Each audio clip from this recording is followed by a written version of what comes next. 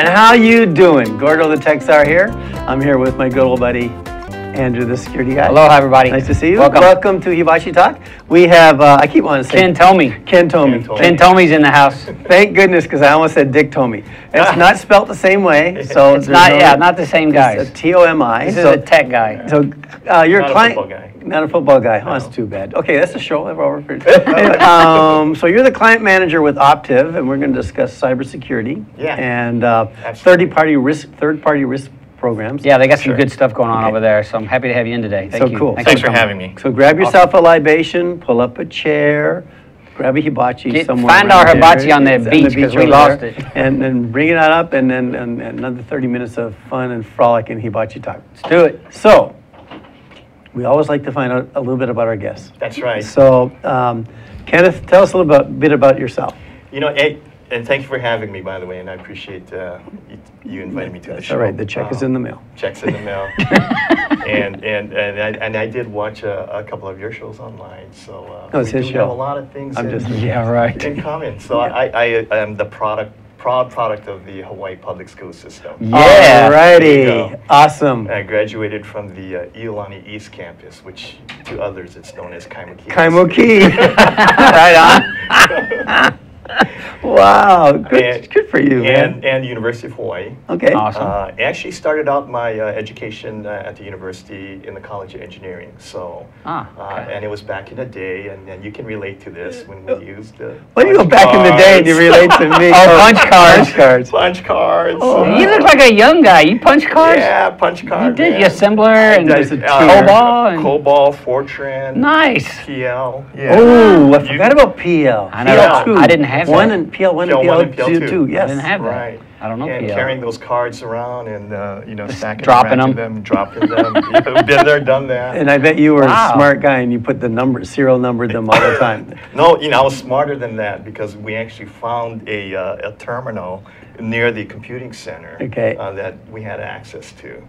So, uh, Oh, really? You, So- you punch them out close by and Oh, wow, Pretty wow, that's pretty darn cool. Pretty, Yeah, pretty good. yeah. So now you're with a company called Optiv. yeah, absolutely. And Optiv's, Optiv is an acronym, or Optiv is a name, or Optiv is the last name of some famous startup person? Uh, there is a story behind it, but Okay. uh, the, the reality is Optiv is a, a, a merger of two companies. Uh, uh, one company called Accuvant and the other one called Fishnet. And both of the companies were uh, highly active in the cybersecurity industry. Okay. Uh, Accuvant more so on the West Coast, Okay. and Fishnet on, on the East Coast. Okay. Uh, and both were uh, acquired by Blackstone. Oh, And- okay. And, Blackstone uh, saw the potential and, and merged the two companies together. Merged the So- two together and created, Right. created. um, Created Optiv. created the- the- Right. So, so, so we'll do a little pause here, because we have this segment we call, you know, got one tech job, right? Yeah. So, and we, we search out for people who might not be in the tech industry Mm-hmm. and see if we find something that might interest one. And so this is one, and it's so, so Pokemon Gone players, gone, I'm gone. Pokemon Go players are urged to avoid minefields. So apparently in Russia, apparently in Russia, they've been wandering around and hitting some of the minefields. people, people put a ward in there, right? A what? An award, like a you have to capture or get. Oh, in, in Oh, there. sorry. Okay, Yeah. well, not no award when you're stepping on a minefield. Exactly. You oh. figure there's a little trade-off. Oh. It's a high value award, though. But it's high, but Poke, Pokemon. No, Yeah. no, not high high value. enough. high value. Yeah. So Not for me. that's not still around. We're still not playing that stupid game. Oh, it's huge. oh, yeah. No, nah. Oh, it's already, the, the hackers already took it over, and now you, Yeah. you capture the thing, it invades your world and drains your bank accounts. Beautiful. And yeah, which is why we got Optiv to make sure that if I'm playing Pokemon, We're going to talk about third-party risk today. Don't go bit. in there and whatever. So, so tell me, so tell us a little bit, a little bit about Optiv. Because Should we know it's the merger? We know Blackstone is a Mm-hmm. major player and they're a huge um, operation. So, what is it you focus on? We uh, do cybersecurity solutions, uh, pure and simple, and in, in a more simplistic term, uh, uh, I, I guess uh, descriptor is that uh, we plan, build, and run cybersecurity solutions. Uh, And Yeah. Give me an That's a example. little better. Yeah, yeah, give me an example. So, so what's a cybersecurity solution? So let's say uh, you're a owner of uh, a, a business and uh, you're looking for a way to implement cyber cybersecurity protection for the information that you have. Now, if you go out uh, in the world to, of cybersecurity today and looking for solutions, there's a multitude Oh, of them for you gazillions. at. Yeah. Yeah. And what we do in the plan stage is look at essentially the first thing we should be looking at is your crown jewels. You know what it is that you want to protect. Okay. And we starting from there. I could have said something there, but I That's decided, right. I That- decided to keep my mouth shut. correct. Keep HR out here. public TV. I always want to protect my crown jewels. yeah, you and me both. so, But uh, so in, in, in this particular scenario, I think we're mostly talking about what information is uh, the most important uh, that you need to protect. And there are literally dozens of layers of different security solutions that can be applicable to, to that particular scenario. What we do is in the build phase is look at your environment and your requirements. And because we have all of these relationships already built up over the years with uh, literally every uh, security vendor that's in the market today, Right. We can determine which ones make the most sense for you. so now this depends. Go ahead. Well, I Go was to say we talk about that a lot, you know, and, and typically these owners really have a difficult time categorizing that asset, right? That that piece of information is how should it be? Is it confidential? Is it should it be free and open? Like what is, what is it? You know, so oftentimes that's that's the biggest uh, challenge initially to getting sort of your cybersecurity, you know, profile set up is understanding what information you have and what makes it valuable or not. Yeah, right. And how, how do you know about going about you know assessing the risk for it? I'm thinking of the small business, you know, people and small Sure. persons out there, and they've Like got these us. small business, and they've got well, even smaller, who've got a. you Um, only have one guy. I know, and he's overemployed. Can't take on any more But the, work. the stuff that we look at, right? But the stuff we look drawings, at, you would- plans, but how do I, kn- how do I know? Let's say I'm- I'm a startup uh, law firm, Sure. right? Oh, I'm a yeah. startup, I'm a one-person shop, so, you know, what do I do? I start a web, I put up a website. The Moment I put that up, I probably opened up some hole somewhere. And then, um, so what do I know, who do I Well, know? your customer information, right? So the, Yeah. the risk is your maybe for your your uh, what's that when your PR, right? Your personal uh, people find out you've been breached, and all of a sudden your public um, image, yeah, your public image is at risk. So I think, uh, but it, it as soon as you get beyond that just a little bit, if you're maintaining a database of customer information, right, the names, phone numbers, that kind of stuff, Right. that can be correlated with other information that hackers get because they're trying to get as much information about Ken as they possibly can. So the more things he's entered in, the more places they gather information on him, the more stuff that they're mm, able to fish. And we'll talk a little bit about uh, some of that, some of these other technologies that they're using, they use spy mails and things like that uh, on the security minutes. So. Okay, so you go in and you'll, you, no, but the thing the is, no one wants right? to spend, I'm getting frustrated with all this, because no one wants to spend money on this stuff. The assessment. I mean, it, they're really, I was about to say another, peeing me off. I can say that. Anyway, they're really peeing me off because they won't spend money on this stuff. Yeah. You know, it's like, it's like the Yeah. assessments, like the, the, the cameras, right? This is one's driving me crazy. It drives you nuts. Now I'm going crazy. The mm-hmm. denial of service attacks coming off of camera systems that mm-hmm. came out last week because these people do not want to do anything about it. Well, yeah, and I think that's a consumer market, right? I think obviously you got a lot of homeowners plugging stuff in. They got their router configured default. All their stuff's configured default, and they got 50 IP devices at home or devices at home today, right? So Right. on, they're they're all owned by armies of guys who sit around and do nothing but send bots out to find that stuff constantly. So how do you? So it's here. You, so we've taken. he over- works for We've B2B. taken he over works the show, B- not he works- to talk. No, he works B two B though. Yeah, So the bus- businesses the are different. business side. Yeah, so but- you go in there and you start looking at companies. But you, you did bring up a good point, though, because uh, it- actually someone just asked me this question before I walked in here. and It was uh, regarding how, you know, uh, how should I be protecting myself as an individual and if it's really necessary. Um, so the short answer is yes, it's necessary. And uh, the reason why is because one of the more prevalent attacks that happens today, it, you, it, we use third, they use third parties.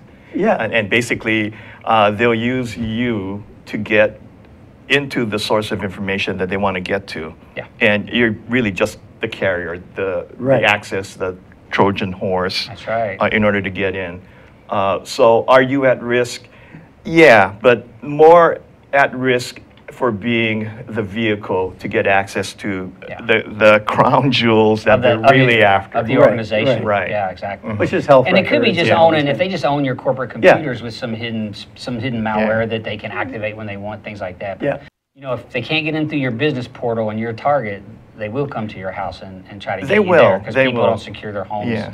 typically So we, as well. we typically consider, you know, the denial of service attacks and, you know, the, these type of, uh, it's, it's really at the nuisance level type of attacks now because the level of sophistication of the, uh, the uh, uh, attacks that we're getting today, the Oh, breaches they're incredible. uh, yeah, they're very highly sophisticated and, and much greater than the public uh, can, has really embraced at this Yeah. point. So uh, we see it every day, and we, we may be at fault for getting uh, kind of uh, used to it, and, and it doesn't uh, resonate as much with us. But it's really uh, in the millions, you know, in terms of the Yeah. attempts that we're getting. So, uh, and, and it is a cyber war that uh, we battle every single day. Right, so, so now, now, Optiv, how do, with, with Optiv, how do you get the client or potential client to be, a- to be, a- have an awareness that this is important? This is very important. What Mm-hmm. I'm finding is that I can't get them to realize it's really important. It's like insurance for your car, right? Yep. Or life insurance. Yeah. Well, well, you're required to have your insurance in your car because you get a safety check. So that, you're stuck there. But there's no requirement for you to get cyber security insurance. Nothing yet that I know of. Yeah, it, it's not a. Re- it's getting uh, a lot more popular in the, in the industry today, uh, but no, it's not a requirement yet. Um, there are a lot of regulatory oversight, you know, for businesses and organizations that dictate what kind of cybersecurity policy actually gets implemented. Right. Uh, but more importantly for us is, uh, and you're right, it is a challenge. So a lot of the work that we do is uh, educating and increasing awareness. So like one of the things that uh, you know I talked about uh, earlier was. The, you know, we're trying to set up a CISO roundtable in Hawaii. Uh, and that's uh, uh, forming uh, an organization where all of the uh, sec- chief security officers uh, in town. Well, not a lot of chief, kinda- there's not a lot of chief security officers in town either. So that would be the C- CISOs and the CIOs, because Okay. a lot of the CIOs are, are playing that role. And, Right. and not just in Hawaii, you know, it's a Yeah. kind of a global thing. You know, one, one of the biggest issues, and I think another guest uh, on a previous show had mentioned this, that we have in this industry is that there is a tremendous shortage of uh, qualified individuals, Oh, yeah, uh, no you know, to play in this. We've got a gap. And, and that's Big probably gap. the biggest problem that we have right now. especially in Hawaii.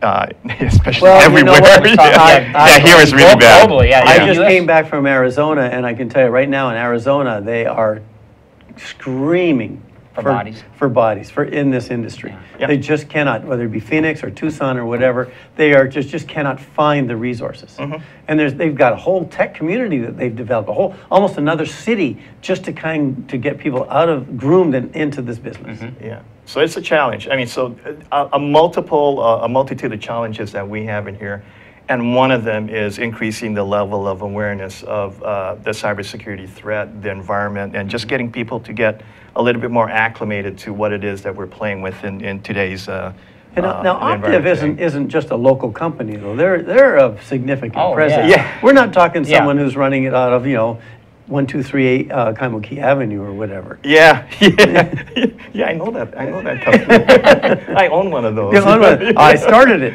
Anyways, No, so Optiv, uh, yeah, it, it is a formidable force in the cybersecurity industry. So we are, you know, we used to say that we were the largest pure play cybersecurity provider, and now Symantec uh, when they merged with uh, Blue Coat, you know, they, Okay. they claim that title, right? Rightfully so, because Right. from a pure dollar standpoint, they are. But as far as the pure play being uh, fairly uh, vendor agnostic, um, that's us, and we're, we're the only one that do that. And yes, we are No, a keep going. organization, yeah. uh, okay, well, okay. So hold that, hold that, because we All still right. haven't we haven't gotten to third party risk.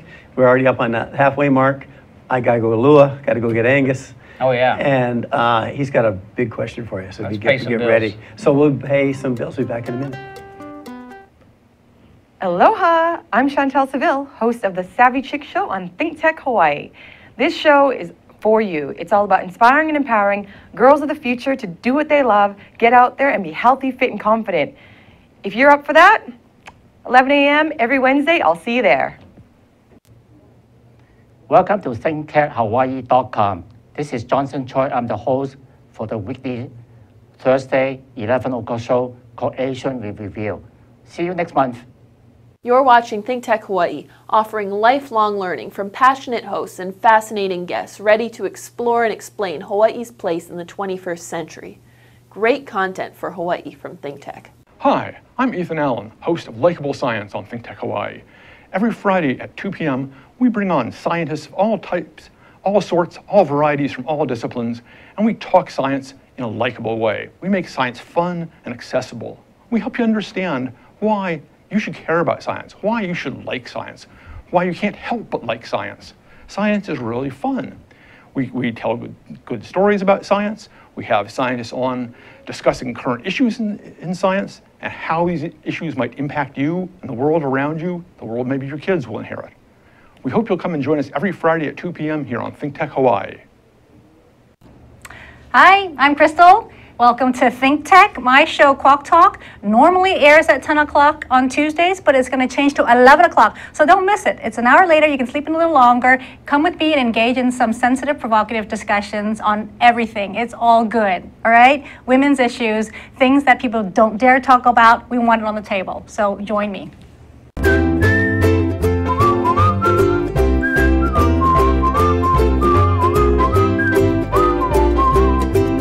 Hey, aloha. Welcome back to Hibachi Talk. Andrew, the security guy. I got a security minute for you today. I wanted to talk about something uh, that we've touched on, but maybe not completely, and it's the rise of spy mail. So uh, you can get spy mail. It's a little piece of code that's going to communicate back to somebody your location, um, maybe when you read that email, um, uh, time of day, that sort of stuff. So um, even as much as maybe the hotel you're staying at. So um, I want you to keep something in mind about this spam mail. You're gonna, you can get this stuff just from an embedded email. So maybe you signed up for an event or signed up for something, and someone's added this little piece of code into this email. So it doesn't say look malicious to you or anything like that. But you know, once you once you've activated that email, now you've got this little bit of code that's telling people stuff about you.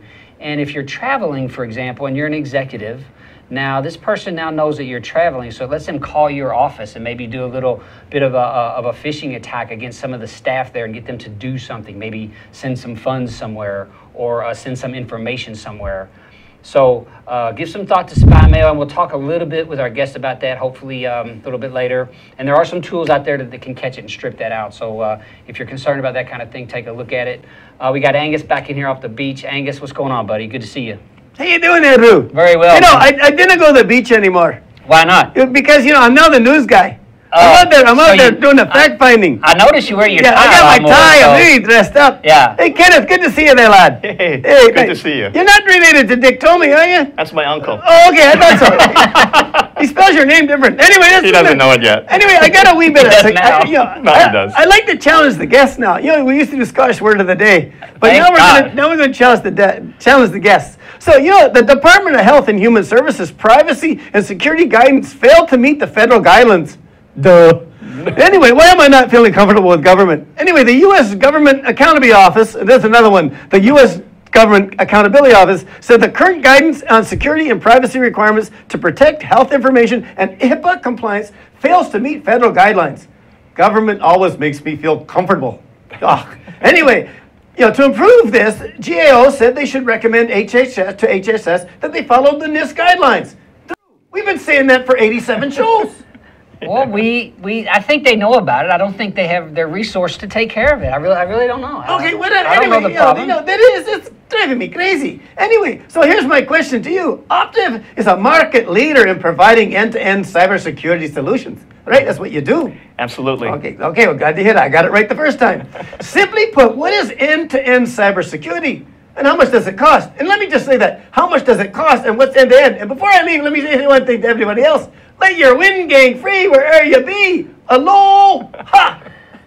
Yeah, Ken. So when we talk about end to end, Uh-huh. right? Everybody goes, "Oh, but what's it cost?" That kind of stuff. So what? Uh, I mean, from a government perspective, you know, like that can be a big number. But Yeah, so what is end-to-end? So let's, let's clarify Yeah, that. let's- What's end-to-end cybersecurity? I'm thinking like, and what's one end and what's the other end? policy, policy to reporting, I'd say. Yeah. But Yeah, so basically end-to-end would mean uh, a, a comprehensive uh, cybersecurity posture, meaning that you have uh, developed uh, uh, policies. sure, yeah, uh, twenty-seven thousand two. So Department of Human Services should develop, Health and Human Services should develop policies. Is this ours? Is this Hawaii? No, Health this is federal government. Federal government. Feel even Oh, less comfortable. Lord, yeah, yeah. With Obamacare. So we got Obamacare and Health and Human Services. So first of all, you Ken, have to have Ken's policies. going to be really busy after this show. So you have to have policies. Uh, yeah, so, and, and I, I can allude to a model that we all learned in the 80s for, uh, uh, in management, where uh, everything comes down to, you know, the, the people, processes, and technology. That's And my and logo that- on my website. The website. tripod, we The talked about tripod. that, sure. Yeah, and, and that applies to this industry. Okay. Uh, the technology piece is a small part of Mm-hmm. what the total solution is. Uh, the bigger part of uh, uh, arriving at what the right solution is, or, or uh, um, end-to-end solution, is recognizing what it is that you need to protect and how you how you want to protect it, when, where, how, and why. And uh, when you get uh, down to the specifics in that, then you have uh, the framework uh, onto which you can add the proper technologies. Mm-hmm. And in order to build that, you got to look at the resources, the people that you have, From and the one, processes that from you one have to in the place. other. So uh, Yeah. I'm trying to think of an industry. Let's, go I, ahead, was- I was just going to say, so we talk a lot about the CSC top 20. We talk a lot about the 853, the CSF, the frameworks, right? So, but those are technical guidance, and, and what Ken's the great point he's making here is you've also got to have that people component, yeah, I'm trying to which is leadership and governance, and that's the ISO 27000 S2 basically. See, here you So- go, geek speak. I mean, you bring it. so. Well, these are, but these things are all mapped together, so I they know that, but do you think our viewers know what ISO 27000 is? Well, Ken's here to tell them. Yeah, we don't have enough time to get to yeah, we that. really, we really don't. But, know, we but got- it is out there for your consumption. So, Yeah, you know, right. go but, out um, there and But, you know, but you take people, process, technology. So, you know, so first of all, so you got, you have your policies in place, right? Right. So you've got to have that. So, but what am I protecting? So if I'm a car industry or a car dealer, I got one set. If I'm a- an attorney, if I'm a healthcare provider, you know, I'm a little nervous about these standalone um, clinics. I really am concerned about these clinics because I'm not sure they've got even anyone that's looking at, at that thing from, from end to end. well, they, Exactly. And, and, and everyone's concerned about that, and that's why when you look at the, uh, uh, the regulatory requirements, you know, they try to encompass all of that. But Right. more importantly, you're, you're correct. Every organization recognizes uh, or should be looking at what it is. The, the first thing really is getting back to what it is that you want to protect. You know, how important is Right. that? Yeah. Is that asset or those patient assets? information, Yeah, yeah, like employee information. Exactly. Um, There- well, card buyer information. And like in patient information, uh, you, you not only have the responsibility, you know, uh, to, to protect that, but you also have oversight, you know, with all of the regulatory oversight. Right. That comes along with that. Sure. That, that needs to be addressed. So all of those need to be uh, incorporated into your decision-making process. So I've got this, so I got, and so I got the policies, you've got your, you know, you've got Your those. you make sure, you've got to make sure that they're being followed. Exactly, that's the process. That's Well, and the approved, process. So and- Right. and- So you audit, you know, then you've got the technology, the underlying technology, making sure that all of, all of those things um, are protected. Another thing that irritates that eh, it's like Zuri with blonde hair. Anyway, another thing, does that look like Zuri with blonde hair? Anyway, um, well, you said it, I didn't. Anyway, a little conversation going on in here. Uh, can you put that when we edit? Can we put that in? Um, anyway, uh, Caesar, you got me all confused. Anyway, so we got the we got the the, the, the people, but the tech, the underlying The technology, technology, and getting right. that protected. I mean, I'm it's, it's driving me crazy when they're going, oh well, I've got Symantec or I've got such Yeah. and such. Yet, um, you know, I had a recent client where we actually went onto their network and found a camera. That was pinging a server somewhere. Mm-hmm. Yep. You know, we found a server that was doing a call home to Russia. But they said, oh, wait, we got Symantec on all of our desktops. But that's an, just, uh, that, you know, an endpoint That's not control. I mean, end-to-end. That's not, and it's, it's, that's a signature-based ESP, right? Yeah. So it's not, yeah. en- So you endpoint. get you hit the nail on the head. Yeah. And there's one message that that uh, I, I can convey today is that there is no silver bullet. Yeah. Right. is no single vendor, Nope. no single solution Nope. that will provide you a cybersecurity uh, uh, a, a protection uh, Right. you know, that is adequate. Right. Uh, you, what you need to be able to do is find the right combination of, of uh, solutions that are out there and apply them to um, you know the policies and the information that you want to protect and find that balance. To the people, the process, the technology. But Exactly. That leads to the next piece, and you brought this one up, and I'm really um, um, naive on this one. Third-party risk programs. Mm-hmm. So what are third-party risk programs? It sounds like an insurance company. Kind It does, it does, and it and it, it- it's kind of like at the periphery of, of the cybersecurity umbrella, but it's an integral and important part because uh, what we've discovered in recent past, You is be that being you Optiv. being the cybersecurity industry Right. as a whole, not Okay. only Optiv, you know, I can Go plug, my company. Hey, I'm plugging. Yeah, there you go. We'll do that. Don't worry. Yeah, yeah. So Optiv, you know, we figured that one out. yeah. See? I'm helping. Uh, but over uh, a little over 50%, and, and it could be more today because you know that's how quickly th- these statistics change. Right. Uh, the breaches uh, that we see in, in the recent past have come through third-party vendors. So it's your suppliers Yeah, that are providing Right. the Yes. uh, uh, the malicious attacks uh, Yes. path into Yes. uh, your sources of information that they want to get to. Yes. And uh, mitigating that is uh, a daunting problem for just about 100% of the organizations out there today. And I, I, I agree with you totally, Kim, because just, just recently, I um, um, got called and had to go talk with someone that were concerned about something that was happening on their system. And it ended up that they had, it was a, a connection they had to one of their suppliers. Right. It was one of their suppliers that caused their situation to occur within their system. Yeah, exactly. And the third player supplier was not people, process, technology So- astute and had that in place. Yeah. Exactly. So the, the level of sophistication of the attacks today are, are really yeah, much uh, more uh, sophisticated, you know, for no other word, than, than what we saw even just a few years ago. They incorporate social media to a great Yep. degree. Uh, and that's why that's one of the actually, social engineering is still one of the more prolific attacks that happen uh, today in, in, for everyone. And, you know, for the common man, it's just clicking on those emails, you know, uh, Well- Or going to that website. and or like- going to the website. Um, And it's like Drew said earlier, if you get an email, if in doubt, don't read it. If you're not Don't ex- read it. isn't- You're not going to miss anything. If you're not It isn't gonna- expecting it, If it's really about it. important, the family member is going to call you. Mm-hmm. So if in doubt, I like this, if in doubt, leave it out. leave it out. Yeah, Just don't bother with it. Block Dump sender. it, get it. Just, Mm-hmm. Block the whole .cn domain, if you ask me. the CN, that's Canadian. No, it's China. Okay. Oh, yeah, that's right. Oh, by the way, by the way, Canada won the World Cup of hockey. How could I I saw forget? Yay! Anyway, that. so we got, only got uh, less than a So minute. give us a, what's, what's, a- give us, Give got us about a, a minute. give us, What's the give us a top uh, advice, 30 top second tip? um, word of wisdom. I think, I, I don't know if I mentioned this earlier, but somebody asked me what the two things are that you need to do, right? Right. Uh, if you're the, the common man on the street, number one is backup. Right? Uh, back it up every day if you can, all of the information that's important to you. Uh, and the second thing is change your passwords. Oh, yes. And it's not, it's pass phrases now. It's 21 characters. Use the phrases. you know. Alpha, numeric, and all that kind of stuff. Right, and and i- if you are diligent about doing that, and um, you know, it'll help immensely. All right, cool. Well, Ken, thanks a lot. We just burned through another 30 minutes, but no guest goes unrewarded. Number 88 in the series of our solo cups. Fantastic. Autograph solo cups. There So you go. thank you so much for uh, joining much. us. Yeah, appreciate it. it. It was Appreciate great it. having you here. You missed Thanks so much, man. So, Aloha. that- Thanks for and me. we always have a closing play, closing phrase for all of our visitors. Thank you for watching on Hibachi Talk and one, two, three. How, you you doing? Nice.